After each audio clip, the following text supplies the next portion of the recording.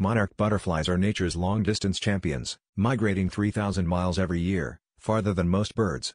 They might seem delicate, but these tiny creatures have the strength and stamina to fly from Canada to Mexico, navigating through storms and temperature changes. It's not the same butterfly making the round trip. It takes four generations of these winged wonders to complete this epic journey. So next time you see a monarch butterfly, just think of the incredible journey it's on.